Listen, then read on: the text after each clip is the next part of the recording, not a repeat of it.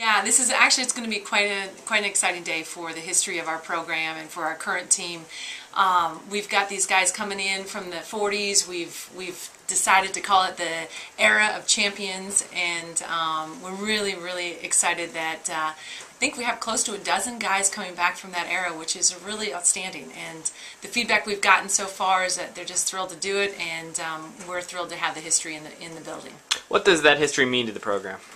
Think it means quite a bit. You know, I think that, you know, your time here as a, as a student and as a student athlete is, is somewhat fleeting. It's a short four or five years that you get, and you know as time passes by so quickly, it's it's great to honor the past. And uh, you know we've we've encompassed a, a slogan around here of honoring the past, empowering the future.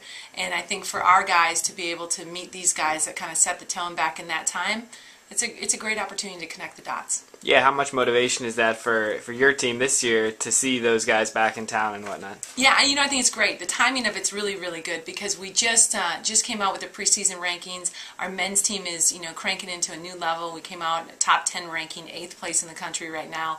We really believe we've got a team that can do some outstanding stuff this year, fighting in the Big Ten and on to the national championship. So we, it's great timing. It's great timing to bring champions into the house to meet the current champions, and so we're excited about it. We'd like to recognize the members of the 1942, 1947, and 1950 NCAA champion cross-country squads in conjunction with the Penn State Relays. Participating alumni that are here present today are Bob Parsons from the class of 1951, Howard Coyne from the class of 1947, Jerry Carter from the class of 1948,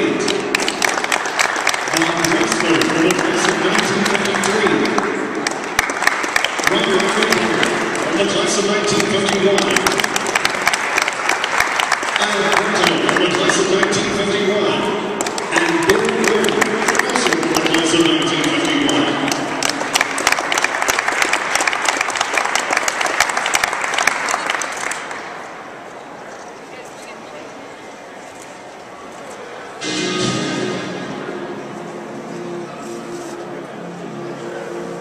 All three championship teams were coached by Charles Chick Werner, who led the Nittany Lions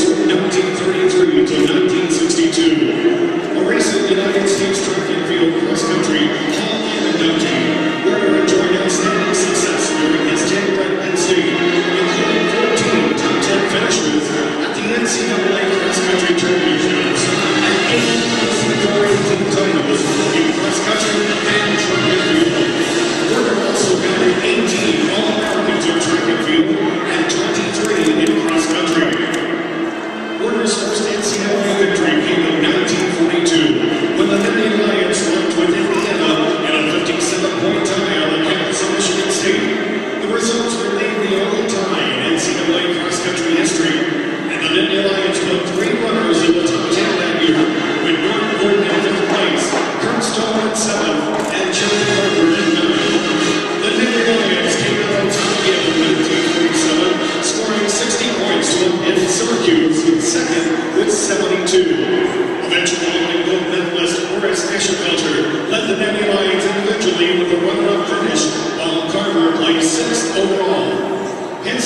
Its third and final title in the year in 1950, battling runner-up Michigan State 53 to 55. Bill Eschenfelter was the